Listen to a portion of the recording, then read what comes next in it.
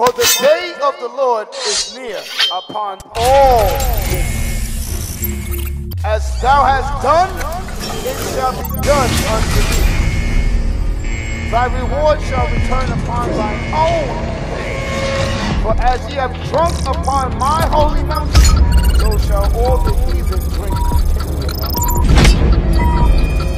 Yea, they shall drink, and they shall swallow down. They're going to drink every ounce of judgment promised. And they shall be as though they had not They shall be as though they never ruled at all. As a dream. But upon Mount Zion shall be deliverance. But upon Mount Zion shall be deliverance. Go ahead. There shall be holiness. And the house of Jacob shall possess their possession. Sat in one of these daughters of Sarah meetings, and we spoke, and uh, we talked about, uh, you know, building unity amongst sisters, building unity, unity amongst brothers and stuff like that. But in their meeting, they was talking about the sisters, and I was telling folks, I'm like, like, uh, just dealing with congregational events. You had Sister Novel post a few congregational events. Well, a lot of people don't never show up to. You know what I'm saying? Just like even with bringing in the Sabbath together. A lot of y'all, you you already don't supposed to be doing nothing on the Sabbath. I mean, you know, uh, why you ain't fellowshipping in righteousness with your brothers and sisters? You know what I'm saying? What you want to do? Just lay? I'm tired. I just want to lay at the house. I don't want to fellowship in righteousness with my brothers and sisters. Read that in Hebrews 10 and 25 real quick. Start at 24. The book of Hebrews, chapter 10 and verse 24. And let us consider one another to provoke unto love. You hear that? That's the point of us coming together to provoke one another to love. Sit down and get to know each other. You can't get to know each other on the Sabbath. It ain't number classes coming out. Y'all don't do nothing but sit next to each other. Read them.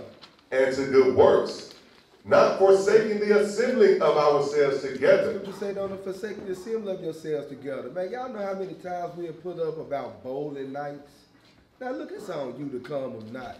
The point is, don't sit up there and don't come and say nothing about unity when these stuff, when, when we sit up here, we set up these events, we set this stuff up constantly, we do stuff constantly, and hell, y'all ain't never involved in it. Read on. As the matter of some is. It says the matter of some is. Uh, just like I was talking to the brothers last night, proofing and putting it at. So uh, Friday was a uh, one hell of a day for me. Not Friday, Thursday. Thursday was one hell of a day for me. Um, I had to go to Little Rock, basically handle some business. But the point is, man, on the way back, uh, I was trying to rush and get this trailer back to the U-Haul place before it closed. But in the process, a lot of stuff took place where it almost knocked me out of the spirit to the point that uh, we did have bowling night that Thursday night. To the point that I was like, you know what, I ain't gonna show. I ain't, I mean, uh, I might not go. But you know what? I decided to apply the scripture. You know what I'm saying? Hebrews 10 and 25. Forsake not the assembly of yourselves together. We already got brothers and sisters up there waiting. You know what I'm saying? Get up there. It's probably what a good like 15 to 20 of us total. But the point is, we came together in righteousness and we had a good time. You know what I'm saying? So look, no, I don't want to hear nobody talk about unity, and y'all ain't the ones helping to build unity. I noticed one thing, and I was I was telling um, a bunch of the brothers the other day.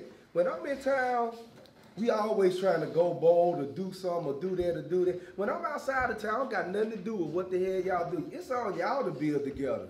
It shouldn't be me sitting up there saying, okay, look, we're gonna put this up here, we're gonna put this up there, or we're gonna do this, or we're gonna do that. Y'all, what y'all gonna do when I leave the congregation? You know what I'm saying? So it's on you to help build the unity up in this congregation. Uh, today's class gonna be called When the Spirit Leaves You. Some of y'all be out the spirit, you don't even know it. You already gone. You already in the flesh. You so far gone, you don't even know it yet. The spirit is it, probably left you. But look, I'm gonna show you what happens when the spirit relieves you.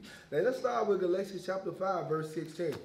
Listen to this. Y'all gotta understand, man, and this truth is gonna be constant temptation. It's gonna be a constant battle. It's gonna be a constant battle. You gotta stay. I was dealing with the brothers yesterday. Before we go there, get First Peter chapter one real quick. I was dealing with the brothers about you gotta have a sober mind. You gotta be sober minded in this truth. You gotta keep a clear head. Y'all always worried about stuff that uh, you, you worried about stuff that you can you don't got no control of. Some of the stuff you worried about you don't got no control of, and you just worrying. And I know that your worrying stopping you from studying, your worrying stopping you from congregating, the spirit leaving you. Read that real quick in uh, First Peter chapter one, verse thirteen. First Peter chapter 1 and verse 13. Wherefore, gird up the loins of your mind. mind. say, gird up the loins of your mind. Read on. Be sober. Be sober. You gotta have a clear. You want to last in this truth. You gotta have a clear head, man. I'm telling you right now. Read on. and hope to the end for the grace that is to be brought unto you at the revelation of Jesus Christ. I'm going to show you why you gotta be sober minded. Get that in 1 Peter five and eight. Why you gotta keep a clear head. You gotta have a clear thought process in this truth. Cause some of y'all don't understand, man. The devil be, the devil on you all the time. The devil owns some of y'all more than it's on others, but the devil owns you all the time. What is Satan trying to do? Satan trying to pull you up out of the truth. Out of the truth. This is why it's so important to be sober minded. Read that. First Peter chapter 5 and verse 8. Be sober, be vigilant, because your adversary, the devil, as a roaring lion, walketh about, seeing whom he may devour. You hear that Satan trying to take you out. You don't got a clear mind. Your thought process ain't right. You ain't studying. You know what I'm saying? You always worried about it, all types of other stuff. You thinking about booty and that stuff all the time. Guess what's going to end up happening? The spirit going to leave you. Look, go to Ecclesiasticus chapter 30, uh, I mean chapter 40. I'm going to show you why it's so important to have that clear thought process in this truth. Ecclesiasticus chapter 40, uh, verse, let me see, let me see. Uh, what it one is, sometimes a man's mind want to tell him more. It's Ecclesiasticus 40, I think. Hold on, let me look at it. It's 37? Okay, uh, yeah, get there. 37 to 14, all praise. Sirach chapter 37 and verse 14. Read. For a man's mind is sometimes wont to tell him more than seven watchmen that sit above in a high You tower. hear that? Your mind want to tell you more than seven watchmen that sit above in a high tower. Imagine seven watchmen looking seven different ways and they see trouble come. And then everybody running to you. This, that, that, that, that, that. You know what I'm saying?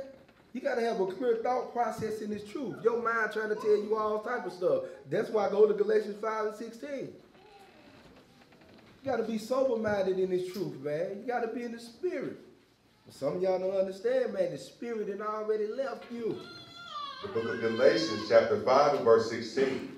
This I say then, walk in the spirit, and ye shall not fulfill the lust of the flesh. It say, walk in the spirit, and you won't fulfill the lust of the flesh. Read on. For the flesh lusteth against the spirit. Look, your flesh is always fighting against your spirit. That's why you see brothers don't last long and it's true, man. Yesterday we was dealing with the full type of Israelites. That's why you see brothers come in and they leave out. Some brothers can't overturn. Yeah, they're excited about hearing the word. I'm an like, bruh. We got to keep the commandments of God. Then affliction come for the word's sake. Some of them out. They gone. The lust of other things, some people can't overcome their lust. That's what make them leave. Some people, a trial and tribulation come around. They out. And then you got the fourth type of Israelite that enduring this thing. Take whatever come their way. They can take correction. Anything that come their way, they take it, they endure, and they bring forth fruit for the Lord. Read on. And the spirit against the flesh. And your spirit is fighting against the flesh. Read on. And these are contrary the one to the other. They contrary one to the another. You want to know why? Because God works through your spirit and Satan works through your flesh. Read on. so that ye cannot do the things that ye would. Let's prove that. Go to Romans chapter 8. Let's prove that. Romans chapter 8. Start at verse 3 or something like that. The book of Romans, chapter 8, and verse 3. For what the law could not do, in that it was weak through the flesh, God sending his own son That's just going into the Lord's sacrifice. Read on. In the likeness of sinful flesh, Christ came as a man, and for sin condemned sin in the flesh, And died for your sins. That's it. Read on. that the righteousness of the law might be fulfilled in us, who walk not after the flesh. Who walk not after the flesh. Read on. but after the Spirit. Read on. For they that are after the flesh Read. do mind the things of the flesh. If you after the flesh, you mind the things of the flesh. What is the flesh? Get Galatians chapter 5 real quick. Go back there. Verse 19. Galatians chapter 5, verse 19. Now the works of the flesh are manifest. They manifest. It's easy to see. Read on. which are these? Adultery, Adultery, fornication, fornication, uncleanness, uncleanness. It's lasciviousness, the works of the flesh. idolatry, witchcraft, hatred, variance, emulations, wrath, strife, seditions, heresies, envyings, murders, drunkenness, revelings, and such like of the which I tell you before, as I have also told you in time past, that they would do such things shall not inherit the kingdom of So God. if you're doing this, you ain't going to inherit the kingdom of God. Now go back to Romans 8 and 5. Them the works of the flesh. Right there. You moving in that spirit right there? You moving in the flesh? Then you ain't getting the kingdom. It's simple as that. Read what you got. Romans chapter 8, verse 5. For they that are after the flesh do mind the things of the flesh. Guess what? So if you after the flesh, that's all you're gonna be. That's your, that's what your thought process gonna be. For real. If you always chasing big booty girls, guess what? That's your thought process. Gonna, thought process. Your thought process is gonna be to commit some type of little sexual immorality, to uh, some type of uh, lasciviousness. If you got a spirit of hatred on you, it's gonna manifest. Why? Your your thought process, the stuff you do, is gonna be hateful. Read on. But they that are after the Spirit, the things of the It Spirit. say they that are after the spirit mind the things of the spirit. Get that in Romans 6, I mean John 6 and 63. Let's see what the spirit is. The book of John, chapter 6 and verse 63. It is the Spirit that quickeneth, the flesh profiteth nothing. The words that I speak unto you, they are spirit and they are life. Say the words that I speak unto you are spirit uh, and our life. So if you after the spirit, guess what? You got your, your concentration, your thought process gonna be on the word of God. That's why a lot of folks fall out the truth. They never was in the spirit in the first place. You want to know why? Because your mindset, your affection, your love never was for this word. Get that in Colossians 3 and 2. This is what your thought process is supposed to be. The book of Colossians, chapter 3 and verse 2. Set your affections on things above, Here it is. Say, set your affection on things above. Read on. not on things on the earth. Not on things on earth. Some of y'all affection ain't set on things above. All that you worried about is things on earth. My job, my house, my car, a paycheck, uh, the woman, my shoes, my clothes. That's all you worried about. You ain't worried about uh, the things on high. You you say you love the Lord and uh, you want to get the kingdom of heaven, but in your actions you can see that you don't love the Lord and want to get the kingdom of heaven. Read that one more time for me. Set your affection on things above, not on things on the earth. Not on things on earth. Some of y'all mind, your heart is in the wrong place. Give me that in Wisdom of Solomon chapter 6, verse 11. When your mind in the wrong place, when your thought process ain't clear, guess what? The spirit gonna start to lead you. When your thought process is after uh, after the flesh, the Most High ain't gonna work with you. He ain't gonna deal with you. I'm gonna show you what's gonna end up happening to you. Wisdom of Solomon, chapter 6 and verse 11. Wherefore set your affection upon my words, desire them. Good, that's where your affection's supposed to be. But your affection on everything else but the word of God. You care about everything else but the word of God. Read on. and ye shall be instructed. And you shall be instructed. The Most High gonna give you the instructions. Some people still chasing a career. Uh, or you want want to uh, you, you want to still be the best basketball player, or you want the damn rap deal, or whatever. You chasing all the wrong stuff right now instead of making sure that you applying the commandments of God and being a servant to Him to raise back up uh, His people. Try find people hey, you gotta get it right. If your thought process ain't that, guess what's gonna end up happening? You're gonna end up falling out the truth sooner or later. I'm gonna show you something. You know, give me that in First Samuel 10 and 6. The, the only reason why you in here right now, cause the spirit of the Lord is upon you. I'm telling you right now, everybody up in here, you up in here, you keeping the Sabbath, the spirit on you. Yeah, we know some of y'all gonna leave. That's cause the spirit gonna depart from you. I'm gonna prove that to you. First Samuel 10 and 6. You know, you got brothers and sisters. They come in. Sisters wear the long dress. Sisters wear the fringes. They put their head covering on. Brothers grow their beards out. Have that strong, mean looking beard. They even go to camp a couple times. That's because the Spirit of the Lord is upon you right now. But look, listen to this. I'm showing you. Read. First Samuel chapter 10 and verse 6. And the Spirit of the Lord will come upon thee, and thou shalt prophesy with them, and shalt be turned into another man. That's why you turned into another man. Because the Spirit of the Lord is upon you right now. But I'm going to show you something. I'm going to deal with Saul today. I'm going to I'm, I'm, I'm deal with Saul. I'm going to show you how when you don't apply the scriptures, how the Spirit of the Lord will leave you. For real. Go to 1 Samuel real quick. Chapter 15, verse 1. First Samuel chapter 15 and verse 1. Samuel also said unto Saul, The Lord sent me to anoint thee to be king over his people, So Saul was made king over the children of Israel. Read on. over Israel. Now therefore hearken thou unto the voice of the words of the Lord. So he said, Look, you need to listen to the voice of the words of the Lord. Read. Thus said the Lord of hosts, I remember that which Amalek did to Israel, how he laid wait for him in the way when he came up from Egypt. And you know how I love why I love this so much? Because the Lord says, Surely I'm avenge uh, your oppressors. He said, Surely I'm avenge you. The Lord said, Look, I remember how Amalek laid wait for you when you came up out of Egypt. Listen to what the Lord told uh, Saul. Read. Now go and smite Amalek. He said, Look, go and smite Amalek. Go kill them. Read on. and utterly destroy all that they have, Man, the Lord said, Destroy everything they got. Read. and spare them not, but slay both man and woman, infant and suckling. So listen, he said, slay both man and woman, infant, infant and suckling. What else? ox and sheep, camel and He said, look, kill everything they got, kill everybody, everything they got. This is the type of God we serve. You talking about you serve the God Abraham, Isaac, and Jacob. This how he get down. The Most High don't play about his chosen people. What that said in uh, Isaiah uh, 44. I think Isaiah 44. Let me look at it. The one about he gave a ransom. Or is it 42? I'm going to show you how God get down.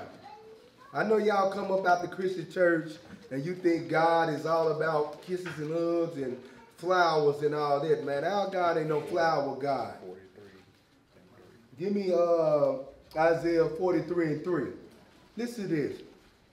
The book of Isaiah, chapter 43 and verse 3. For I am the Lord thy God, the Holy One of Israel, thy Savior. I gave Egypt for thy God ransom, said, look, I destroyed Egypt for you. I gave Egypt for your ransom. Read on. Ethiopia and Seba for thee. He said, I destroyed nations for you. The Most I don't play about his chosen people. Now go back to where we was at, 1 Samuel 15. So the Lord gave Saul a charge. He said, look, destroy everything they got, oxen, sheep, infants, women, everybody. Read what you got. 1 Samuel 15 and 4. And Saul gathered the people together and Now, numbered, 15 verse 9. verse 9. But I'm just going to jump around. Y'all read the story yourself. I got a bunch of scriptures. Read what you got. but Saul and the people spared Agag and the best of the sheep. So you see this? But what did he do? He spurned Agag and the best of his sheep. God said, kill everybody. Destroy the sheep, destroy the oxen. He disobeying the word right here, right now. Read on. and of the oxen, and of the fatlings, and the lambs, and all that was good, and would not utterly destroy them. But everything that was vile and refused that they destroyed utterly. Read on. Then came the word of the Lord unto Samuel, saying, Now here come the prophet. Read on. It repenteth me that I have set up Saul to be king, for he is turned back from following me, and hath not performed my commandments. And it grieved Samuel, and he cried unto the Lord all night. so the Lord came to the prophet and like, hey man, this man disobedient as hell. He said, grieve me. And Samuel, he cried about that thing. Jump down to verse 17. Now check this out. Verse 17. And Samuel said, When thou wast little in thine own sight, was thou not made the head of the tribes of Israel? And the Lord anointed thee king over Israel? Read on. And the Lord sent thee on a journey and said, Go and utterly destroy the sinners, the Amalekites, and fight against them until they be consumed. Read. Wherefore then didst thou not obey the voice of the Lord, but didst flee upon the spoil? He said, You did flee upon the spoil. You didn't obey me. You wanted the spoil. You kept the sheep, you kept the oxen. And I'm going to tell you this how it is. You'll read somebody scripture or you'll correct somebody, they'll make excuse.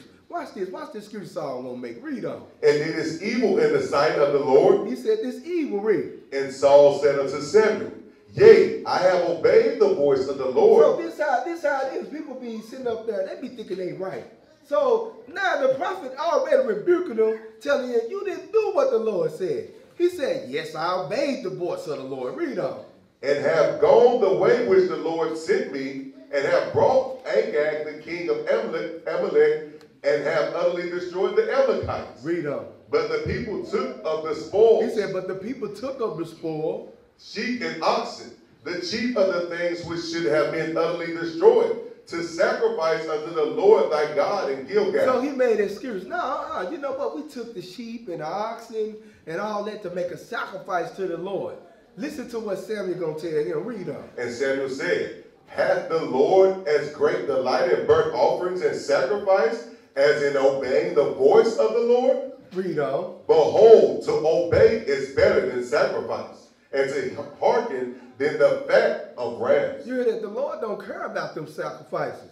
The Lord like, oh Lord, man, to obey is better than sacrifice. You talking about you held this to sacrifice. Lord, Lord don't care about no sacrifice. He wants you to obey him. He wants you to hearken.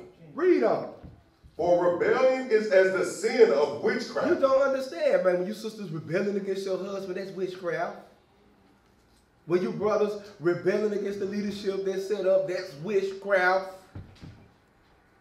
Because the leadership, give me that in Psalm 75, 75 and 6, 75 and 5.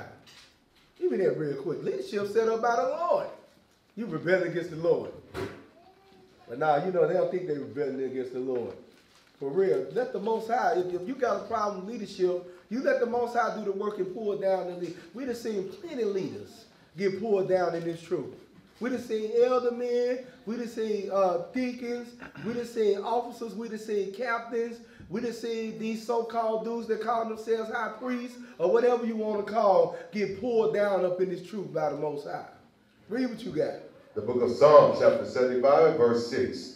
For promotion cometh neither from the east, You hear that promotion don't come from the east. You brothers that was made soldiers and officers up in there, it didn't come from the east. It didn't come from us. Read on. nor from the west, Nobody else didn't say, hey, promote this brother. Read on. nor from the south. Read on. But God is the judge. The Most High is the judge. Read. He putteth down one and set it up another. He put down one and set up uh, another. So if you lose your rank, guess what? It ain't I didn't take your rank. The Lord took your rank. He put down one. He set up another. If I lose my rank, it ain't leadership took my rank. The Most High took me down. But when you spiritual, when you out of spirit, you understand that. Only you, only you understand stuff like that when you spiritual. You'll know, okay, ah man, you know, I, I was a soldier. I've been bust down from a, bust down to a member again. This thing gotta be from the Lord. This gotta be from the Lord. Uh, what we at? First Samuel 15 and 23. Okay, First Samuel 15 and 23. So just to let y'all know right there, look, uh, the Most High set up the leadership. So you rebelling against leadership, that's witchcraft too. Sisters uh, rebelling against their husband in their house, that's witchcraft. Freedom. For rebellion is as the sin of witchcraft. He said that's the same thing, that's the sin of witchcraft. Read on. and stubbornness is as iniquity and idolatry. And when you stubborn, that's the same thing as being idol- uh, uh, idolater. Read on. Because thou hast rejected the word of the Lord, he hath also rejected thee from being king. So since he rejected the word of the Lord and he didn't do what the Lord told him to do, the Lord said, I'm going to strip the kingdom from you. Read on. And Saul said unto Samuel, I have sinned, for I have transgressed the commandment of the Lord, and thy words, because I feared the people and obeyed their voice. He said, look, he ain't feared God, he feared the people and obeyed the people. Read on. Just like, just like some of y'all brothers and sisters up in here, you don't fear the Lord. You listen to what another sister say. Or you listen to what another brother say instead of sitting up there going into your leadership who the Lord dealing with. Because whether you believe it or not, the Lord dealing with your leadership. But some of y'all, uh, some of y'all think the Lord ain't dealing with the leadership. The Lord dealing with that brother. Lord dealing with this brother over here. Brother, come on, man. The Lord dealing with everybody up in here in some type of way, but the Most High set an order up. Read on. Now therefore I pray thee, pardon my sin, and turn again with me, that I may worship the Lord. Read on. And Samuel said unto Saul, I will not return with thee, for thou hast rejected the word of the Lord, and the Lord has rejected thee from being king So over the, Israel. so the Lord rejected him from being king over Israel. Why? Because he disobeyed the Lord. That's what it started. When the Spirit started to lead you, it's, you start doing stuff to uh, disobey the Lord. Leadership, officer, brother come to you, a soldier come to you, warn you. I ain't gonna say soldiers because y'all really can't judge mountains. But the officers will come to you, they'll warn you about something, or they'll get on you about something you doing, and next thing you know, you reject it. You don't understand that the Most High sent that man to sit up there. When Saul dealt with, when uh, when the Most High was dealing with Saul, how he was dealing with Saul through who? Through Samuel, through the prophet. But some of y'all, they think the Lord dealing directly with them. They got the conversation. You get the hell. Why come you get to have the conversation with the Lord, but the person traveling the whole damn earth, you know what I'm saying, going to camp hundred days straight, brothers 365 out here now. You know what I'm saying, putting in all the work for the Most High. You ain't doing a damn thing, but the Lord working with you though. But the ones who out here doing all the work, the Lord decided to say, you know what, I'm skip the brothers, all these brothers that's laboring in the truth, putting their life on the line with me. I'm gonna go holler at this person that ain't doing no work at all, that ain't keeping the commandments, and I'm gonna talk to them. I'm gonna tell y'all something about y'all dreams too. Give me that real quick Deuteronomy 13. I had to uh, cut a uh, cut a dude to death with this one when we was in Grenada. Cause he got to say, I see visions, I have dreams. I said, bro, you know what? You might be right. You might see them dreams and them visions, and he was like, and I know we don't have to keep the law. I said, watch this, I'm gonna show you this. Read this real quick. Deuteronomy 13 and 3. God is talking to him, God is to reveal it to him. I don't gotta keep the law. This is what dude said on the radio station up there. I pulled this on him right here. Listen to this. Deuteronomy 13, verse. I'm gonna get straight to the point. Verse 4. Listen to this. Deuteronomy chapter 13 and verse 4. Ye shall walk after the Lord your God, God. let's go and start at verse 1. Read. Verse 1 If there arise among you a prophet or a dreamer of dreams, and giveth thee a sign or a wonder, and the sign of the wonder come to pass, whereof he spake unto thee, saying, Let us go after other gods. We don't have to keep the commandments. God gave me a vision. Read on. which thou hast not known, and let us serve them. Because guess what? It's only one way to serve God. How do you serve God? I need the precept. Give me the precepts, uh, Yohanan. Deuteronomy 10 and 12. Deuteronomy 10 and 12. That's how you show, this how you serve the Lord. Read it real quick. Deuteronomy 10 and 12. The book of Deuteronomy, chapter Yeah. 10 and verse 12. And now, Israel, what doth the Lord thy God require of thee? What do God require you, Israel? You the Israelites, read. But to fear the Lord thy God, to walk in all his ways, and to love him, and to serve the Lord thy God And to serve the Lord thy God. Read on. with all thy heart and with all thy soul. To, to do what? Read. To keep the This commandments is how you serve God. To keep his commandments. Read on. of the Lord and his statutes, which I command thee this day for thy good. For your good. Go back to where we was at. So now you got somebody having these dreams, God talking to them, whatever, whatever, whatever. You know what I'm saying? It say, now they telling you, we'll have to keep the commandments. God gave me this in a dream. Or God told me this in a dream. I don't have to do this because God is telling me this in a dream. Listen to this. It might not be God. I'm telling you now. You might have you having these dreams.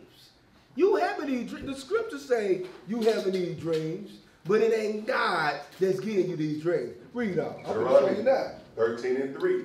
Thou shalt not hearken unto the words of that prophet. So you hear what the Lord told us. Now, don't hearken to the words of that prophet. Ain't no prophet ever came on this earth and told our people not to keep the commandments. It ain't there. He ain't finding. He ain't it. Every prophet that ever came, get that in Nehemiah chapter 9 real quick.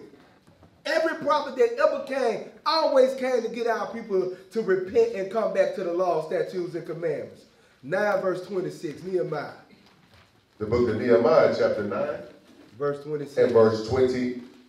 I think it's 26. Nevertheless, they were disobedient and rebelled against thee, and cast thy law behind their backs, and slew thy prophets, which testified against them. Every prophet that came came to testify against the people. Uh, hold on, I think you might need to start at 25. You beat me there. Hold on, let me see it. Let me look at it real quick. I need to look at it. Nehemiah 9. Yeah, that's it. Read that again. Nehemiah 9 and verse 26. Nevertheless, they were disobedient. The day is talking about the Israelites, something about you, our forefathers. Read on.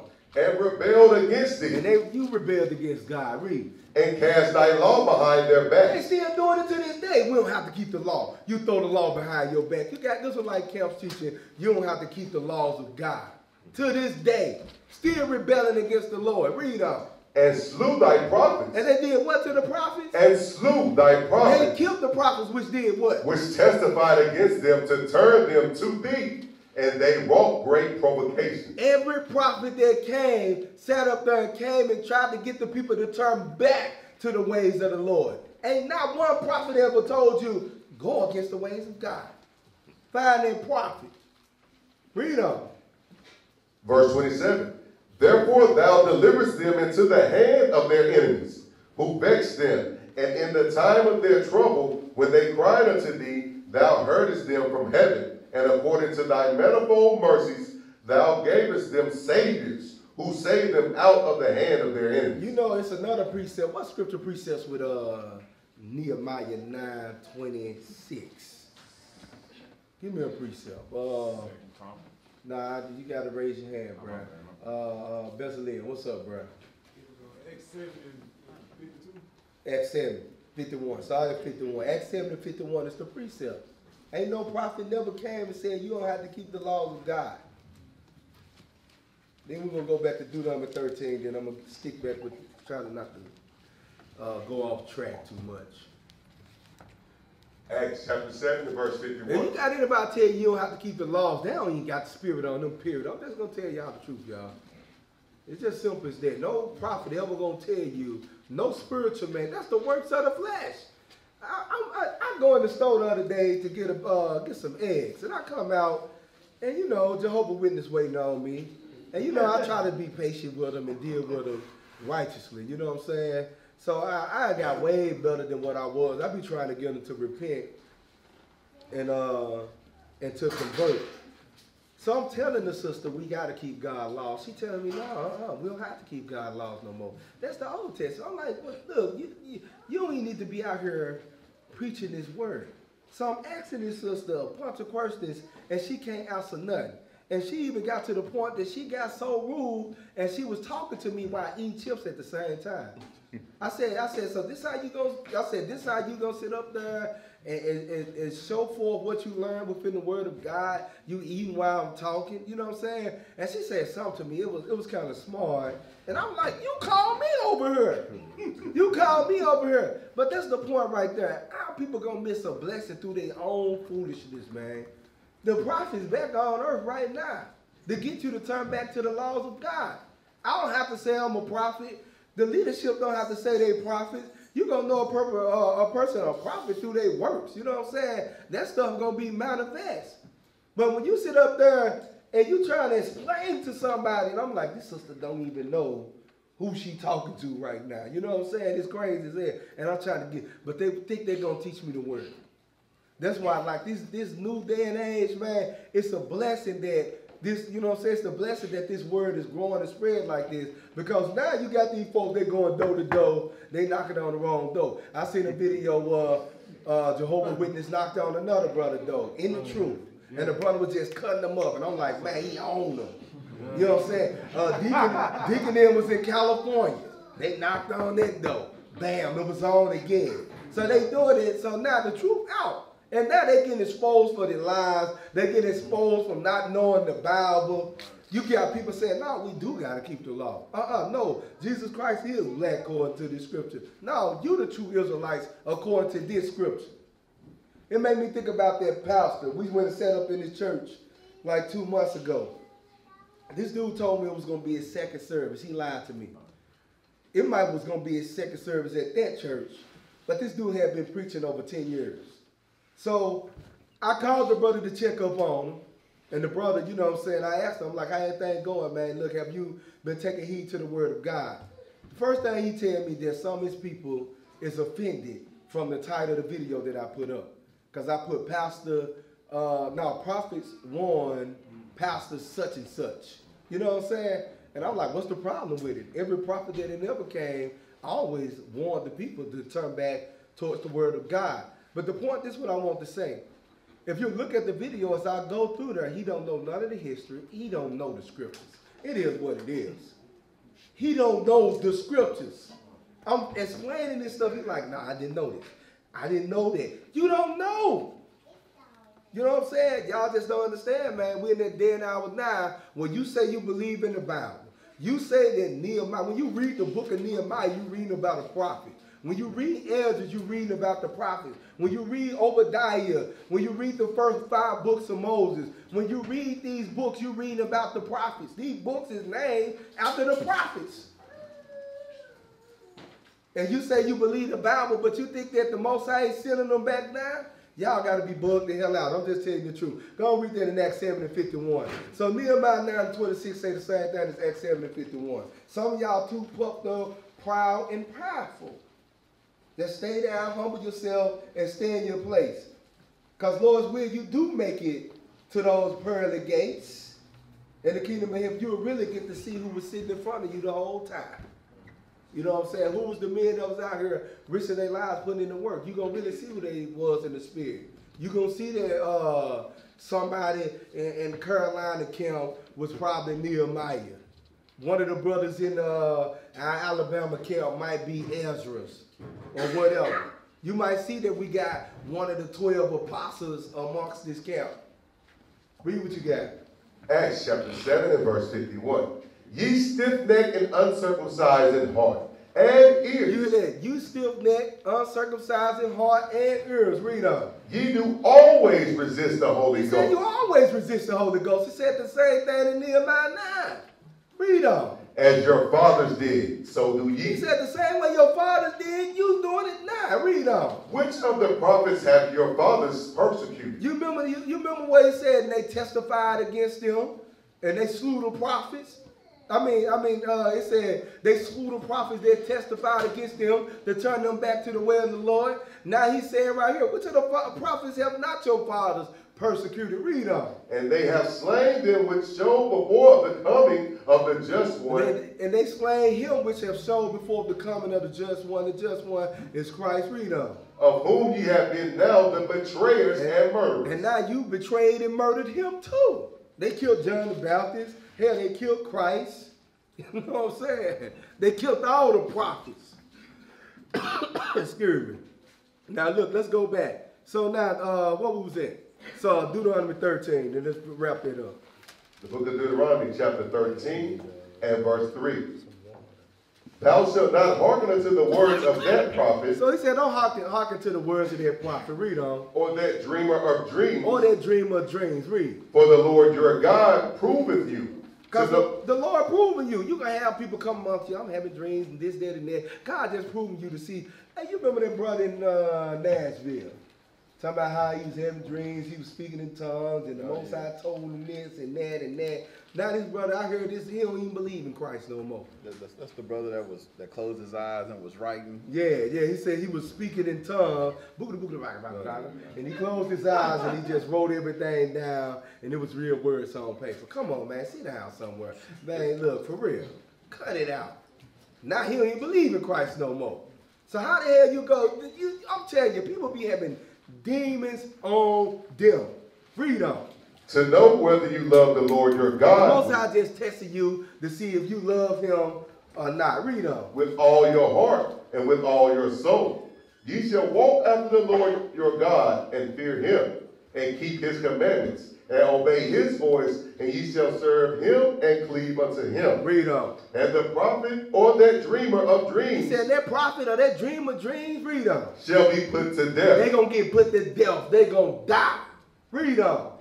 Because he has spoken to turn you away from the Lord your God. Why? We spoke to turn. I had a dream. And then you come and tell your dream the turns you speaking to turn somebody away from the Lord God. You're gonna get put to death. Read on. which brought you out of the land of Egypt and redeemed you out of the house of bondage, to thrust thee out of the way which the Lord thy God commanded thee to walk in. that to thrust you out of the way that God commanded you to walk in. Read. So shalt thou put the evil away from the midst of He thee. He said, so shall you put the evil. That evil got to be put away. God was like, tell. But see, right now in this day and time, we can't put you to death. But we sure in the hell can throw you out there to save. We can't put you to death. It is what it is.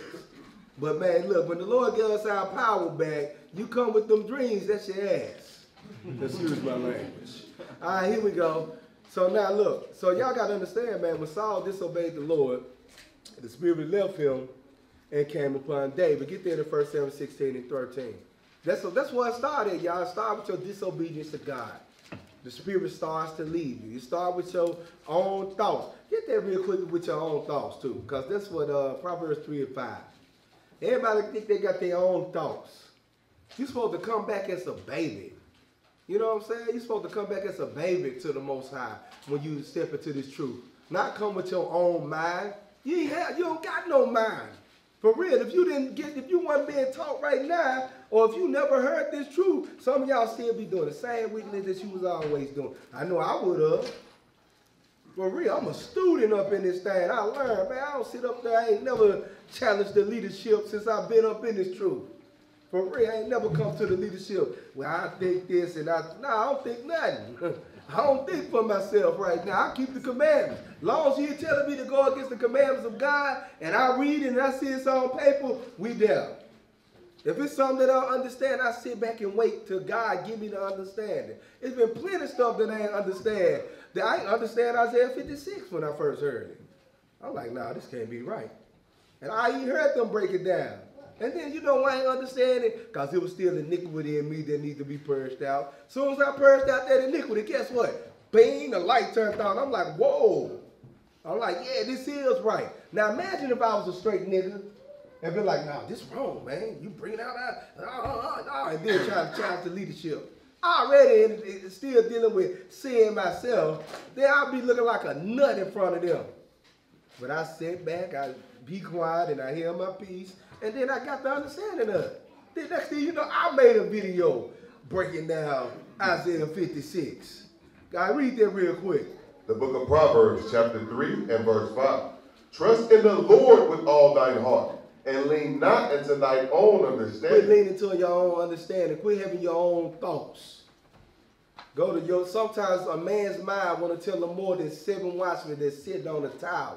Give it in the first Samuel 16 to 13. All you need to do is concentrate on the commandments. If we try to get you to break the commandments, that's what this uh that, that's the problem. I mean, that's when you sit up there and you be like, hey, look, I gotta go. These dudes wicked. Dude told me to bow on the Sabbath. I'm out. For real. Oh, no, they telling me that I can wear pants and dress in some leggings and walk around the show. Then that's when you need to run, sis. For real. When we tell you to take it off, that's when you run. Long as we tell you to put it on and cover up, you need to be clapping us up. Because you got a whole bunch of whoremongers that was in this room. That if they were still in wickedness, they'll love for you to come up in here strutting your stuff and wear the tightest dress and wear the tightest pants and, and whistle at you and tell you how thick you is. Read what you got. 1 Samuel chapter 16 and verse 13. Then Samuel took the horn of oil and anointed him in the midst of his brethren. And the Spirit of the Lord came upon David from the day forth. So Samuel rose up and went to Ramah. So at first, Saul had the Spirit of the Lord on. Let's see what happened to the Spirit of the Lord. Now David getting anointed with the Spirit of the Lord. Read verse 14. But the Spirit of the Lord departed from Saul. It departed from Saul. Why? It all started with his disobedience to the commandments. Read on.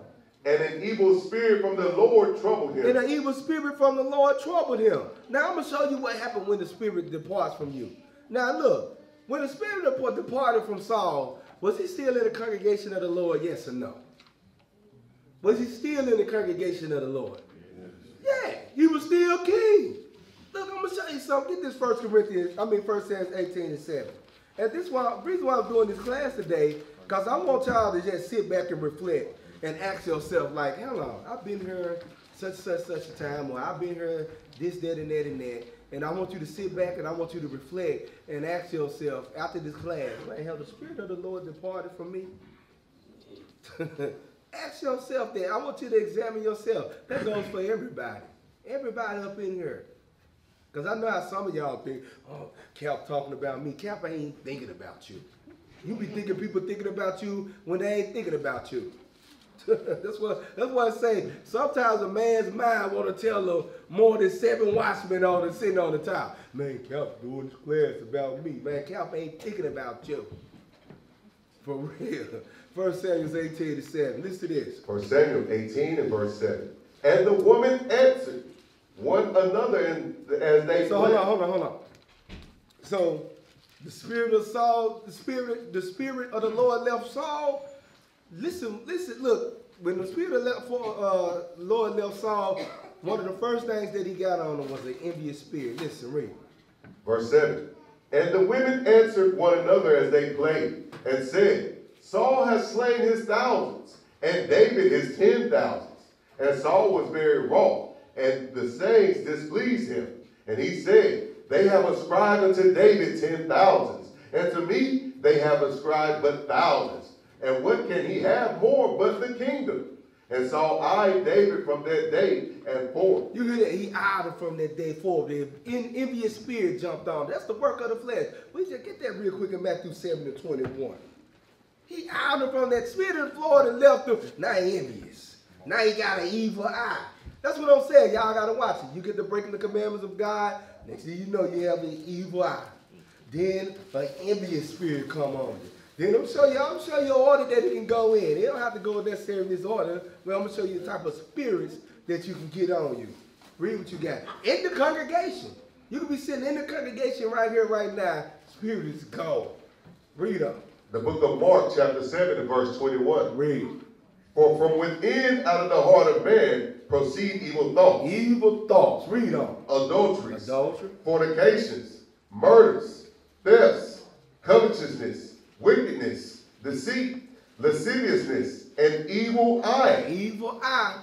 Read them. blasphemy, pride, foolishness. All these evil things come from within and defile the man. It said come from within and defile the man.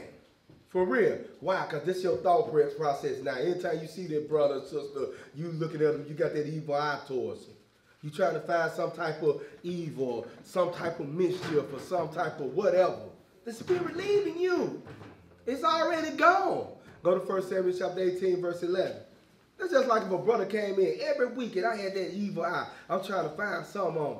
I'm coming to house. Hey, this brother right there is this, that, that, and that. I don't got nothing good to say about him. You already know the spirit leaving me. Instead of saying, trying to build the brother up. Our job is to build each other up, not to tear each other down up in here. Read uh, 1 Samuel 18. So pick back up and start at 10. First Samuel chapter 18 and verse 10. So look, after that evil eye came upon him, listen to this, read. And it came to pass on the morrow that the evil spirit from God came upon Saul. See that? He still got that damn devil on him, read. And he prophesied in the midst of the house.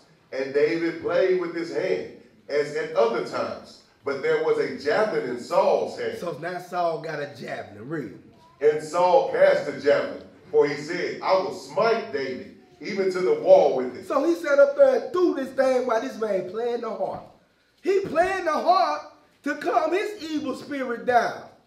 He had sat up there and threw the javelin at him, tried to kill him, read on, but not just once. Listen to this, read on. And David avoided out of his presence twice. So now he, look, this dude has become so envious of uh, David, he trying to kill him now. Now that spirit of hatred and murder popped up on. Now, he should have sit up there. He could have been applying the scriptures. When you don't, that's why I said walk in the spirit. You ain't going to fulfill the lust of the flesh. Flesh, give me Leviticus chapter 19, verse 17. The book of Leviticus, chapter 19 and verse 17. Thou shalt not hate thy brother in thine heart. Thou shalt in any wise rebuke thy neighbor, and not suffer sin upon him. You hear that? You don't supposed to have hatred on, upon your brother. But he broke that law. What's another law he broke? Get that in Exodus real quick. About that evil eye. Let me see. Uh, hold on. Go to, let me see, let me see. I want to go to First John on this one. Uh, chapter 2, verse 15. Read that. First John, chapter 2 and verse 15. Love not the world, neither the things that are in the world. Read. If any man love the world, the love of the Father is not in him. For all that is in the world, the lust of the flesh, The lust of the flesh, the, the lust of the eyes, the lust of the eye, and the pride of life, and the pride of life. is not of the Father, It ain't of the Father. Read on. but is of the world. That pride got to him. That lust of the flesh, that lust of the eye. He seen all the women running out to Samuel. Oh man, look, I mean, come running out to David. Saul killed his thousands. But David killed his ten thousand, thousand. Hey, you know how women is. They can hype it up, man. They hype it up for real, though. So look, now he got that envious spirit on him. You know what I'm saying? That, that devil jumped on. He got that evil eye towards his brother. That evil eye started to manifest hatred.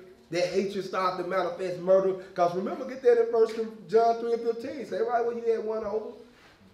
First John chapter 3 and verse 15. Whosoever hateth his brother is a murderer. And ye know that no murderer hath eternal life abiding You in hear that? When the next thing you know, that hatred manifests, now it's murder. Give me that in Exodus real quick about not coveting. Verse uh, 17. Okay, I ain't gonna lose that. I'm gonna come back. Go to 1 Samuel 18, verse 29. Now I want to deal with this right here. I'm gonna show you. Now I'm gonna start with verse. Uh, just keep reading on down. Started back at 12. First Samuel chapter 18 and verse 12. And Saul was afraid of David So now he afraid of David. For what? Read them. because the Lord was with him and was departed from Saul. That's what be wrong with some people. The Lord don't be with you. The Lord with somebody else, and now you're, you're afraid because the Spirit had left you. Some of y'all don't even be knowing the Spirit had left you. I'm trying to show you ways to let you know that the Spirit is left you or is leaving you. Read on.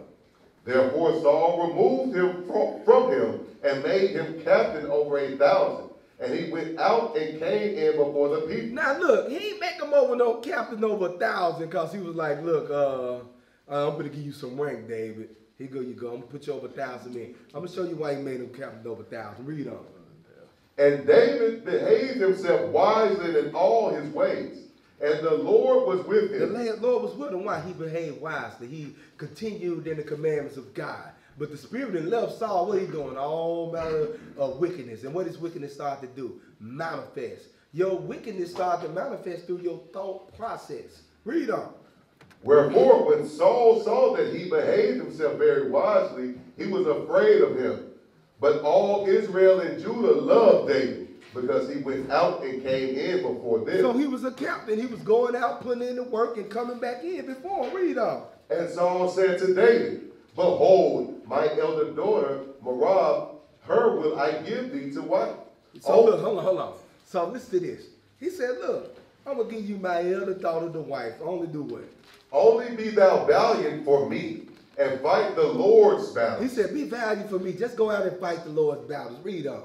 For Saul said, Let not my hand be upon He him, said, don't let my hand be upon him. Read on. but let the hand of the Philistines be upon You him. see that? He made a captain of a thousand, gave him his daughter, sent him out there and said, look, you go fight the battles of the war. You be the head of the army out here. You know what I'm saying? Because look, I ain't gonna kill him. Let the uh, Philistines kill him. You see that right there? Y'all see the, the evil that's manifesting uh, uh, uh, through Saul since the Spirit of the Lord had departed from him? But look, but look, keep going though. Keep going. Verse 18. This 18. dude Saul right here, he was just completely out of the spirit. He was gone. And that's what happened when you be out of the spirit. You start to do all types of crazy stuff around. You start to do all types of crazy stuff, and it started to manifest. It started to manifest. Read on. And David said unto Saul, Who am I? And what is my life or my father, father's family in Israel that I should be son-in-law to the king? So he was like, look, he stayed humble. Humility, that's what, walking in the spirit, being humble.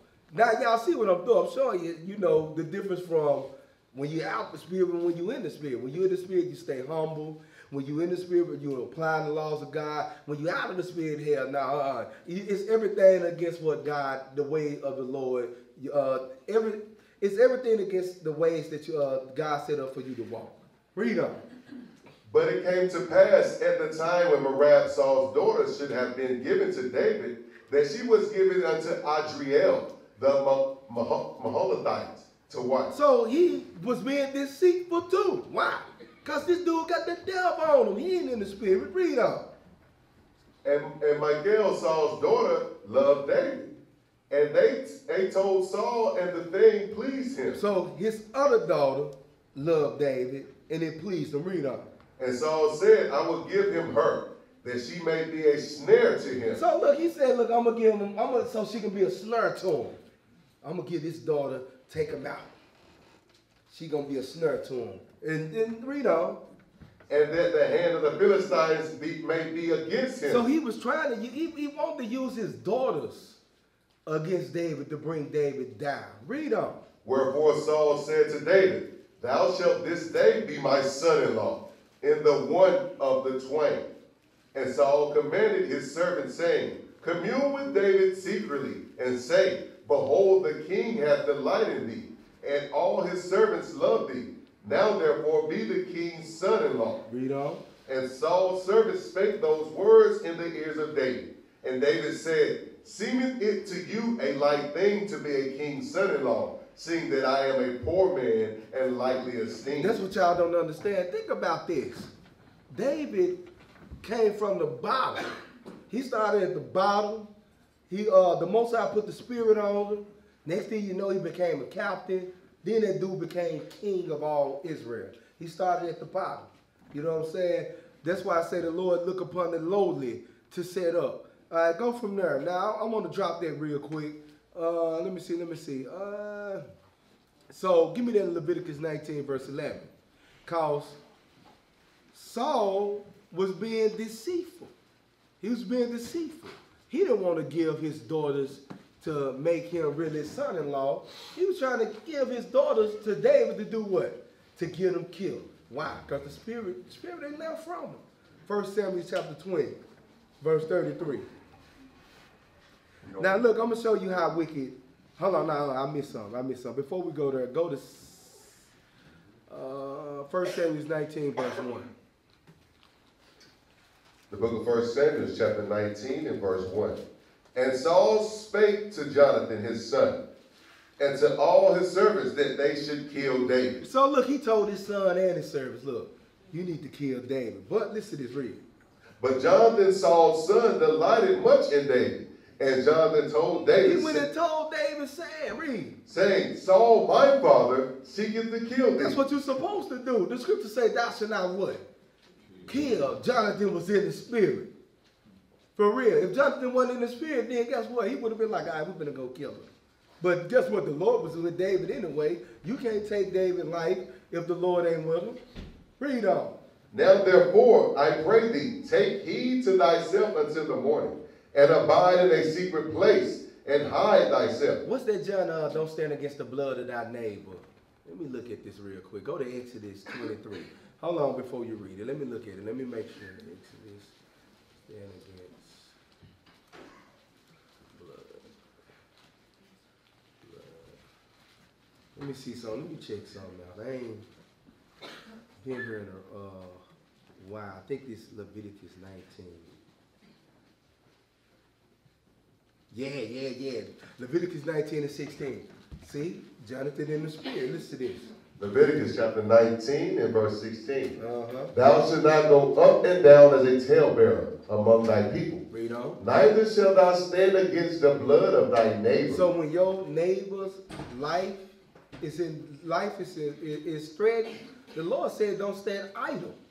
That's just like me. I know somebody gonna come and do some to Zephaniah. You know what I gotta, I supposed to tell Zephaniah, hey, bro, they plotting to take you out. You know what I'm saying? You got to get the hell up out of here. That's what Jonathan did. He's walking in the spirit of God, applying the laws. That's what you're supposed to do. In the hood, they call it, you know, don't snitch. Snitches get stitch, snitches get stitches. You they sat up there and cooked up a whole plot how they gonna kick in the brother door down the street. The, the whole plot, you know what I'm saying? Look, we're kicking this kicking this dough. We're gonna take all this money. If he give if he moves sudden, he gonna kill him. You know, you know what I'm saying? Next thing you know, they kill him, and somebody heard all that and didn't say nothing. And then you wondering like, nah, when they come back around, when something happen, now they come and look for you. Cause you know what happened when you out of the spirit, the most high, most, look, I was thinking about it. I was, um, I was watching some stuff. Um, and I think it was about the Lorenzo Wright, how she looked 10 years ago before uh, Lorenzo Wright died. Y'all see how she looked? The sister wasn't bad looking, you know? Sister looked kind of good. She wasn't bad or none of that, I don't think. I, I didn't see all her pictures, but I know she wasn't looking bad. Y'all see her now? Woo! Man, that's how you know. Man, the Lord been afflicting that spirit. She Lord afflicted that spirit so bad to well, she just let everything go. See, you think you can go out here and do some and get away with it. You know what I'm saying? The Lord sit up there and afflict that spirit. She ain't even had to do it. But just having something to do with it been troubling the hell out of her. It's been troubling her to the point that this sister don't even look the same no more. The spirit in left, way I ain't gonna say the spirit never on her, but the Lord, look, whatever spirit that was in her and left her, you could just tell this sister just gone, zombie the hell out. Read Leviticus 19 and 16 again. Leviticus chapter 19 and verse 16. Thou shalt not go up and down as a talebearer among thy people. Neither shalt thou stand against the blood of thy neighbor. I am the Lord. You hear that? You don't supposed to stand against the blood of your neighbor. Your brother life is danger. You're supposed to warn him. That's the law. That's the law. Jonathan did that. Jonathan was loyal. That's why the scriptures talk about a faithful friend. That's why I always talk to you brothers about loyal. We need loyal brothers up in this joint, man. For real. Get that in uh, real quick in uh, uh, uh, Proverbs real quick. Chapter 17, verse uh, 20. Is it 18 and 24? Yeah, 18 and 24. Proverbs chapter 18 and verse 24. A man that hath friends must show himself friendly. Read on. And there is a friend that sticketh closer than a brother. That's who Jonathan was. Jonathan was their friend that stuck closer than a brother. He knew his dad was out the spirit, wicked as hell. He was like, hey, my dad want to kill you. And what he do? That man was in the spirit. He went and warned David, man. For real. That's a that's loyalty right there. Get that in uh uh Proverbs 17 and 17. The book of Proverbs, chapter 17 and verse 17. A friend loveth at all times, and a brother is born for adversity. You that? A, bro a brother was born for adversity. You know what I'm saying? Hey, Lord Jonathan was born for that time right there to make sure that he was being loyal to David. You know what I'm saying? He was born for that adversity. Because Saul tried to kill him several times after that. And matter of fact, Saul was so wicked. Go, uh, what we was just reading. Go, go back to 1 Samuel chapter 19 real quick and read verse 1. 1 Samuel 19, verse 1. And Saul spake to Jonathan his son and to all his servants that they should kill David. But Jonathan, Saul's son, delighted much in David. And Jonathan told David, saying, Saul, my father, seeketh to kill thee. He said, Look, my dad is seeking to kill you. Read on. Now, therefore, I pray thee, take heed to thyself until the morning, and abide in a secret place and hide thyself. He said, hide yourself. That's why, go, go to Ecclesiasticus 6. I was jumping ahead. Y'all was moving ahead too far. Too far. Verse 14. Just dealing with being loyal, man. That's why one thing I want to push this on you, brothers, man. Stay loyal. Stay loyal in this truth, man. For real. We got a job to do. We're gonna be loyal to each other. Ain't nobody, ain't nobody turning us against each other and, and uh, against the laws of God. You know what I'm saying? Look, we, we in this thing together. Let's get the kingdom together. For real. You got something you don't understand, be patient and let the Most High Spirit work through you. After a certain amount of time, you'll get your answer, then hell leave. It's simple as that. You know what I'm saying? Don't leave, speak of evil, just go. Sirach 6 and 14. The book of Sirach, chapter 6 and verse 14. A faithful friend is a strong defense. You that? A faithful, that's who, uh, that, that, that's who Jonathan was, that lawyer friend, that strong defense. Because Saul wanted to kill David. And he said he tried to send his son and his servants to do it. Read. And he that hath found such a one hath found a treasure. He said, when you found a loyal friend, you found a treasure. Read on. Nothing doth cut, uh, counter, what's that? Countervail. Countervail a faithful friend. Nothing can go against a faithful friend. Read on. and his excellency is You unvaluable. hear that? Their loyalty is unvaluable. Read on. A faithful friend is the medicine of life, and they that fear the Lord shall find You hear that? You for the Lord. That's where you get that loyal friend. Go back to where you was at. Uh, First Samuel, First Samuel 19, 19, verse 10 now. verse 10. And Saul sought to smite David, even to the wall with the javelin. But he slipped away out of Saul's presence. So Saul was trying to kill him again. Then on top of that, listen to this. Read on. And he smote the javelin into the wall, and David fled and escaped that night. Saul also sent messengers unto David's house to watch him and to slay him in the morning. he's sending messages to watch him and slay him in the morning. Read on. And Michal, David's wife, told him, saying, If thou save not thy life tonight, tomorrow thou shalt be slain. This woman really loved him. Uh, Jonathan loved uh, Jonathan loved David, and Michal, Jonathan's daughter, she loved him. She was like, "Look, hey, if thou save not thy life tonight, tomorrow that day you're gonna be killed." Read on. So Michal let David down through a window. So she let him down through the window, like, "Look, you gotta go and go, husband. I love you." Read. And he went and fled and escaped. And Michal took an image and laid it in the bed and put a pillow of goat's hair for his bolster and covered it with a cloth. Hey, look, this woman right here, she wasn't no joke. She was like, you know what? I'm gonna make a fake man laying down in the bed, you know. So when they come, you know how when somebody put the put a fake, set up the pillow right there and act like they laying in the bed. You know what I'm saying? This is what that sister did. Read her. Now notice what she used goat hair. she used that thick sheep hair. Didn't that nappy hair, man. You know what I'm saying? Read. She used. Let me be quiet. Read her. And when Saul sent messengers to take David, she said, He is sick. Look at that. This sister, like, look, I'm gonna stand up for my husband. Get that real quick about a righteous woman. This sister was in the spirit. You know what I'm saying? Go to Ecclesiasticus real quick, chapter 26. I'm gonna show you something about a faithful friend and a faithful woman. Get that Ecclesiasticus chapter 26. Uh, let me see. Let's start at um. Uh, I don't want three. Is it three? Yeah. Let's read. Let's read. Uh, let's start at one. uh, Ecclesiasticus chapter 26 and verse 1. Blessed is the man that hath a virtuous wife, for the number of his days shall be time. A virtuous woman rejoiceth her husband. You see that she rejoiced in her husband. She rejo- she had delight in David. A virtuous woman got delight in their husband. A virtuous woman ain't gonna hate their husband. You talking about you virtuous, but you hate your husband. Hell no. Read on. And he shall fulfill the years of his life in peace. Just to say he gonna fulfill the years of his life in peace. Read on. A good wife is a good portion, which shall be given in the portion of them that fear the Lord. Okay, now look, let me find the one. What the one that they say uh, a strong woman or a faithful uh, uh, uh, uh, is a tower of defense to her husband. Y'all know what I'm talking. Sisters, y'all supposed to know this. Uh, let me see. I want to. A faithful woman.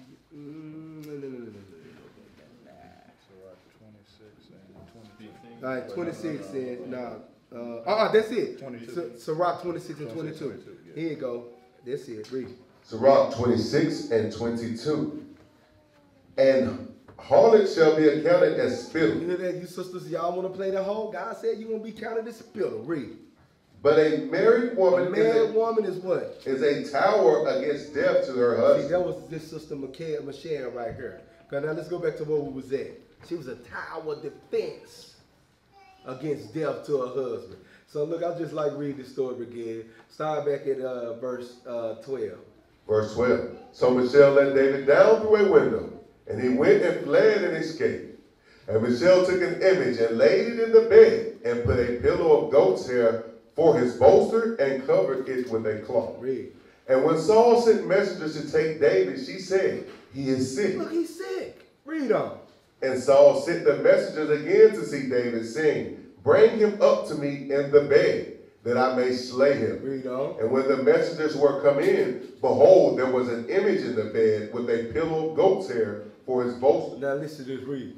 And Saul said unto Michal, Why hast thou deceived me? Why you deceive me? Read on. So and sent away mine enemy. So look at that. See, that's what I'm saying. When the spirit leave you, you think the brother that love you, your enemy. You think the sister that love you is your enemy. You want to know why? The spirit is gone. Read on. that he is escaped. And Michal answered Saul, He said unto me, Let me go. Why should I kill thee? Read. So David fled and escaped and came to Samuel to Ramah and told him all that Saul had done to him. And he and Samuel went and dwelt at Naioth. And it was told Saul, saying, Behold, David is at Naioth in Ramah. So, all right, I'm gonna stop right there. I'm gonna jump over to First Samuel chapter 20. You know what I'm saying? And uh, I'm, I'm gonna switch the whole subject in a minute. First Samuel chapter 20, verse 33. So now y'all know that uh, David he did have the chance to kill Saul, right? But he uh, he spared he spared Saul's life. And um, y'all y'all can read the rest of the story yourself. And uh, David and Jonathan were so loyal to each other that they ended up making another covenant. You know what I'm saying? They made a covenant. David like, look, I'm gonna stay loyal. I ain't turning against you, even though my father's seat. They they never broke their bond. You know what I'm saying? Now I'm gonna get to some. I'm gonna show you how evil Saul is. First Samuel 20, verse 33. First Samuel 20 and verse Start at 32. Verse 32. And Jonathan answered Saul his father, and said unto him, Wherefore shall he be slain? Why you want to kill David? What hath he done? What David and done to you? He did nothing to him. He did nothing. All that thing was the spirit and left him. Read on. And Saul That's why you you wonder why why they got so much hatred for this brother. Why they got hatred for this sister? Why they got hatred for this brother? Because the spirit ain't left you. People be like, well, hey, I ain't done nothing. I ain't did nothing to this brother. I ain't did nothing evil to him. I ain't did this. I don't know why I can have hatred for one of y'all up in here. You've been had to commit adultery. Uh, yeah, you've been have to uh, try to kill, probably even kill. You could kill somebody up in here or something like that. Man, look. Other than that, it ain't nothing to hate you about. Oh man, brother called me outside my name. What the hell I'm hate you for that for? Brother don't hate you for you for that. You know what I'm saying? Do some stuff that's unforgivable. that God said you'll get put to death. Commit adultery with a brother wife. Then I see why a brother want to have some hatred for you and kill your dad. The scriptures talk about the spirit of jealousy. You know what I'm saying? The scriptures, scriptures talk about a man getting put to death for that. You know what I'm saying? Kill somebody, child up in here. You probably get put to death for that. The scriptures always spoke about the avenge of blood. How many y'all read about the avenge of blood? You know what I'm saying? For real. The avenge of blood was somebody coming to avenge your death. You know what I'm saying? It's different stuff. It's stuff in the Bible you read about that. That's why I love like, this word of death. But read this real quick. Read on. verse 33. And Saul cast a javelin at him to smite him. Who he threw the javelin at this time? Saul. Saul was afflicted with that javelin, was it? That's how you know the spirit left him. Because when he, when he was fighting one of them armies, man, he was a beast. He was killing his thousands, thousands. But when he sat up there and the spirit left him, every time he threw the javelin, he missed. He had no spirit up in him there. Read on. Whereby Jonathan knew that it was determined of his father to slay David. So Jonathan arose from the table in fierce anger, and did eat no meat the second day of the month, for he was grieved for David, because his father had done him Yeah, shame. that he was grieved for David because his father had done him shame. I'm gonna show you one more dirty act that your boy Saul did when the spirit left him. First Samuel chapter 22, verse 11. I hope y'all, none of y'all brothers, never come this far when the spirit leave you. I hope you never die. Look, this is own brother. This is own brother. Remember the scripture says Saul became David's enemy con- continually. Continually. This is own brother. And that's what I'm saying, man. The spirit been and left you, and you don't even know. You still be walking around like yeah, But your your actions show that the spirit of God ain't upon you. First Samuel chapter 22, verse 11. For Samuel 22, verse 11. Then the king sent to call Ah- Ahimelech the priest, the son of Ahitub, and all his father's house. So now here go Saul. He had called the priest, all his father's house. Read on. And all his father's house, the priests that were in Nob, and they came all of them to the king. And Saul said, Hear now, thou son of Ahitub. And he answered, Here I am, my lord. And Saul said unto him, Why have ye conspired against me? So now this dude right here, he thinking all types of evil thought. Why you it against me? Now he delusional as hell. The spirit is completely gone. He think everybody against him now. Read on. Thou and the This is what happened when you ain't walking in the spirit. Applying the laws when the situation come forward. Read on. Thou and the son of Jesse, in that thou hast given him bread and a sword, and hast inquired of God for him, that he should rise against me to lie in wait as at this day. Then Ahimelech answered the king and said, And who is so faithful among all thy servants, as David, which is the king's son-in-law, and goeth at thy bidding, and is honorable in thine oh, house. So he said, No, I ain't conspired, against you. He was like, Who's so faithful among all your servants as David, which is the king's son in law, that goeth at thy bidding and is honorable in your house? He like, I ain't conspired. This is an honorable man. Read on. Did I then begin to inquire of God for him? He said, Did I then begin to inquire of God for him when he was a faithful among your servants and became your son in law and he did all your business and he was honorable in your house? Read. Be it far from me. Let not the king impute anything unto his servant. He was like, look, don't be imputing anything to his uh, to me. For real, don't be sitting up here lying on me and saying I'm conspiring against you. Read on. nor to all the house of my father. Read. For thy servant knew nothing of all this, less or more. He said we didn't know nothing what you was what, what was going on between y'all. Read on. And the king said, Thou shalt surely die. So he said, look, you know what, Amalek, you gonna die. Read. Amalek, thou and all thy father's house. I'm going to show you how evil this brother got. Read on. And the king said unto the footmen that stood about him, Turn and slay the priest of the Lord. He said, slay the priest of the. This dude got so evil, he started to kill the priests of the Lord. Read on. because their hand also is with David. Read. And because they knew when he fled and did not show it to me. But the servants of the king would not put forth their hand to fall upon the priests of the Lord. Look, even the servants knew some stuff what not to do. Like, nah, uh-uh. We ain't gonna kill these priests. Read on. And the king said to Doeg, Look what he did, y'all. This how evil he got. This look, look. This how wicked. Who know this story? What you about to read? You know what he's gonna do. Listen to this. Read. And the king said to Doeg, Turn thou and fall upon the priest. And Doeg the Edomite turned, and he fell upon the priest. He got Edom on. He sent Esau there. You know Esau gonna do it. He sent the enemy. Like, okay, kill the priest. Read on. and slew on that day four score and five persons that did wear a linen ephod. Read. And now the city of the priests smote he with the edge of the sword, both men and women, children and sucklings, and oxen and asses, and sheep with the edge of the sword. Read. And one of the sons of Ahimelech, the son of Ah- Ahitub, named Abiathar, escaped the fle- and fled after David. And Abiathar showed David that Saul had slain the Lord's priest.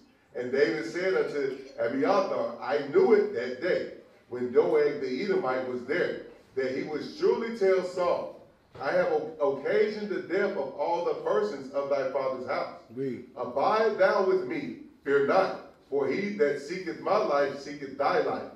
But with me thou shalt be in safety. So you see what he did? He killed all the priests and then went throughout the land of Nob and slow, uh, smoked everybody.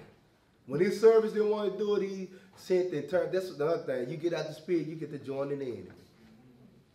You be so far gone out, now you join the enemy. You talking to the enemy. You think everything the enemy saying is good.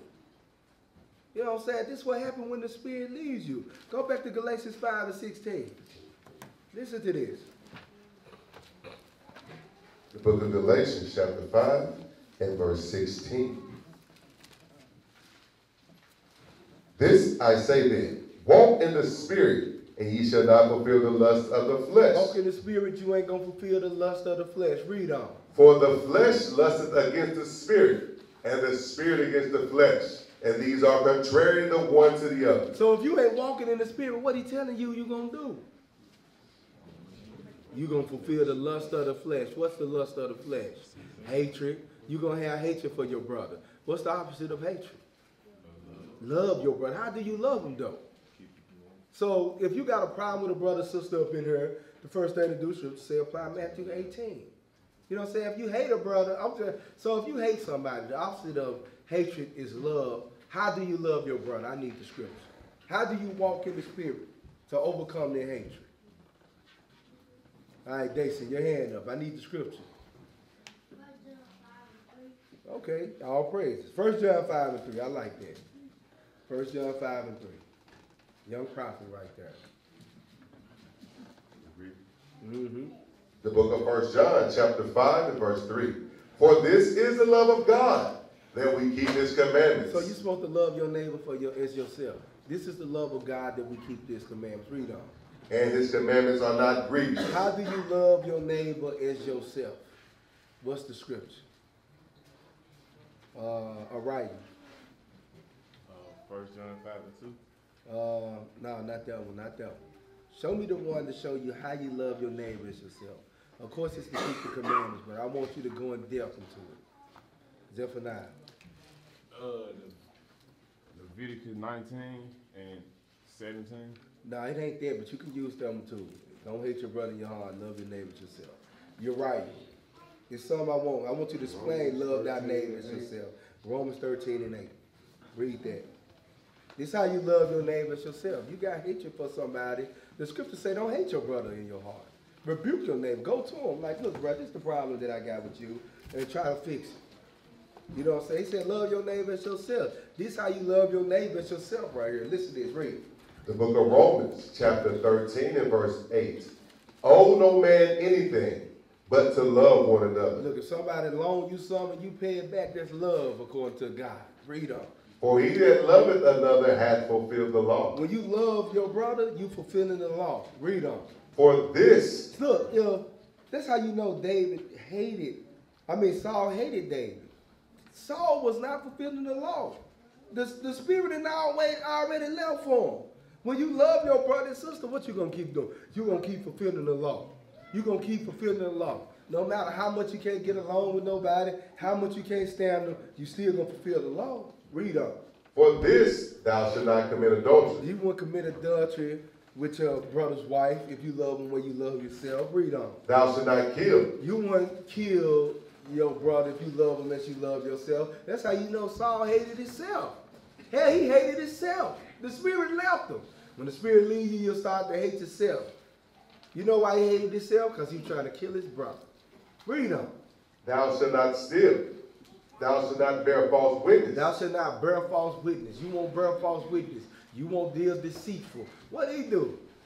The spirit that left Saul. He started to deal deceitful. Read on. Thou shalt not covet. You look at that covetous spirit got on Saul when the spirit left him. Read on. And if there be any other commandment, it is briefly comprehended in this saying, namely, thou shalt love thy neighbor as thyself. Thou shalt love thy neighbor as thyself. Because he was covered, he covered the fame that David got when he went out to war. Oh, Saul killed his thousand, but David killed his thousand down. He wanted that praise. Why? Because he was puffed up. For real. Just like um, get John 1 and 19. I mean Jude 1 and 19. I'm gonna show you what's going what happens when the spirit will leave you and what you're supposed to do to keep the spirit from leaving you. Listen to this. Jude, verse 19. These be that these be they who separate themselves sensual, having not the spirit. When the spirit leaves you, what you do, y'all? What's, what's, what's what you do? You separate yourself. You say you don't got the spirit. But if you got the spirit, go to Hebrews 10 and 25. Hebrews chapter 10 and verse 25. Not forsaking the assembling of ourselves together, at that. You ain't gonna forsake the assembly of yourselves together. That's why we be seeing people separate themselves. We already know, oh yeah, they out the spirit. The scripture said you out the spirit. Read on. as the manner of some is, That's what they doing. Now you forsaking the assembly of yourself together. You out the spirit. Read on. but exhorting one another, And so much the more as ye see the day approaching. Give me that in Ephesians chapter 4. He said you're supposed to exhort one another. When you in the spirit, you come together. When you out the spirit, you separate. It's simple and easy as that. That's easy to understand. Give Ephesians chapter 4, verse 3. Ephesians chapter 4, verse 3. Endeavoring to keep the You unity. that? When you're in the spirit, you endeavor to keep the unity. When you're out of the spirit, you don't give a damn about unity. Read on. of the Spirit in the bond of peace. In the bond of peace. Endeavor means to go above and beyond, to do whatever you got to do to keep the unity going. Read on. there is one body. All right, you can stop right there. So when you in the spirit, you do what? You endeavor to keep the unity. When you out of the spirit, you're like, what the hell with the unity? You ain't trying to unify. You out of the spirit. For real. Uh, let me see, let me see, let me see. All right, look. Give me, uh, let me see, let me see. Um, I got like a couple more minutes. Uh, covetous, covetous, covetous. Right, go to First Timothy chapter 6. So you're still dealing with walking in the spirit. When you out of the spirit, you covet. When you in the spirit, you what? You content. You content. The scripture say, get there to First Timothy 6. The book of First Timothy, chapter 6 and verse 8. Start at, yeah, start at uh, 6 real quick. Verse 6. But godliness with contentment is a is great gain. Godliness with contentment, that's a great gain. Read on. For we brought nothing into this world, and it is certain we can carry nothing out. You want to save up five million for what? You can't take it with you. You might leave it behind to a fool. You die, leave it down, leave it behind to somebody that's gonna break the commandments of God. That's what uh, when you read the book of Ecclesiastes, what Solomon was talking about, gathering all the riches to leave it behind to a fool. Left it down behind to his son. What his son did, broke the kingdom up into two. That's why we divide it to this day. Read on. And having food and raiment, let us be there with content. He said, when you got food and raiment, you're supposed to be content. But when you out of the spirit, read on. But they that will be rich fall into temptation and a snare. When you when you out of the spirit, you trying you chasing money, you chasing dreams, you fall into temptation and the snare. Read on. and into many foolish and hurtful lusts, You fall into many foolish and hurtful lusts. Read on. which drown men in destruction and perdition. Now you drowned in destruction and perdition. You falling off. You know what I'm saying? Read on. For the love of money is the root of all evil. The love of money is the root of all evil, just like I was dealing with the brothers yesterday about the Sabbath. Now, some of y'all, you don't have to work the Sabbath, but some of y'all, you'll go in on the Sabbath willingly just to get extra money. And I was telling the brothers, I was like, okay, think about some of us in here, we don't got no good jobs, you don't got no career, but you probably make like what, ten dollars an hour or something. You go in and work the Sabbath, that's five hours. You make what, fifty dollars. You went to with the with the work for extra fifty dollars to make nothing. You sold your soul for fifty bucks. Fifty bucks. You know what I'm saying? But you you missing every Sabbath for this little fifty bucks. Now the spirit starting to leave you. You ain't congregating. You ain't getting the spiritual move food you need to be built up and to continue through the week. For what? Fifty bucks. Fifty dollars. Come on, man. Y'all got to get it together. Then you want, what's the opposite of that? To walk in the spirit. Walk in the spirit, keep the Sabbath. When you out of the spirit, you go work each and every Sabbath. We understand that some of y'all, you forced to work the Sabbath and you really don't want to be there. Some of I know brothers up in here willingly and went and got jobs that said, look, you got to work on Sabbath. Instead of trying to find a job that say, you, they find a job that make them work the Sabbath. They quit the old one they have.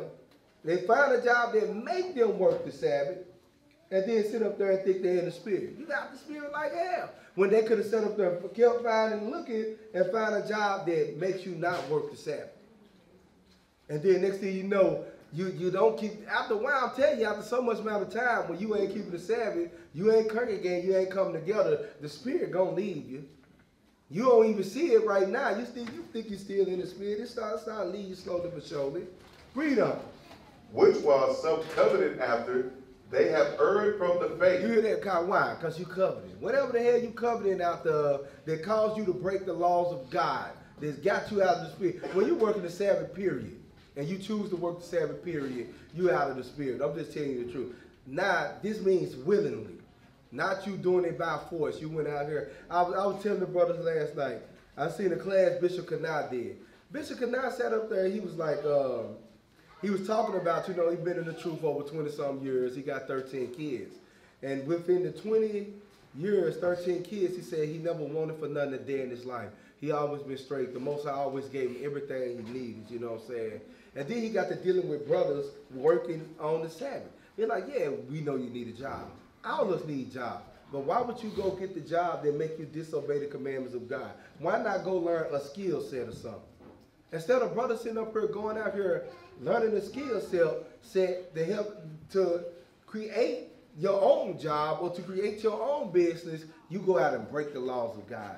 And when Bishop Kanai had said that, I had to examine my spirit. Because I'm like, you know what I'm saying? Uh, I was telling the brothers this why it's good too, to have you a wife that keep the command. Because I was sitting up there already going to different brothers saying, look, I think I need to get like one or two jobs just to get my money up. I, I can use the same scriptures y'all use to work the Sabbath day. Hey, we're in captivity, bro. Cap, that's what they say, captivity. I can use the same scriptures you use, go out here and get two jobs and, and stack my money up for a whole year and, and, and be straight and use same scriptures you use. But my wife sitting up there, she's like, what the hell you gonna go do that for? You you straight. She's like, you good. You don't you don't need nothing else. She's like, who gonna travel? You just gonna stop traveling like that?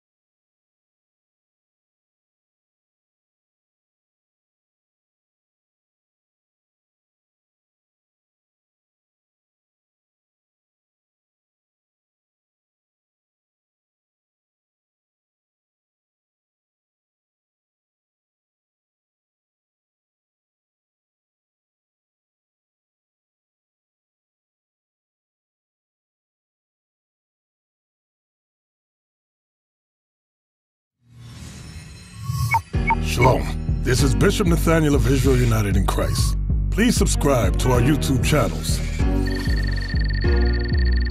Stay up to date with our latest events, music, and classroom lessons.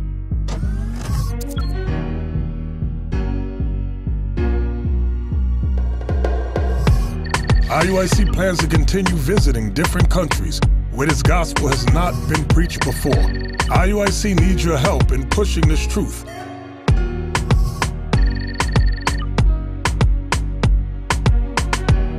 So join us. Subscribe to our Instagram, Facebook, Twitter, and podcast and stay up to date with us.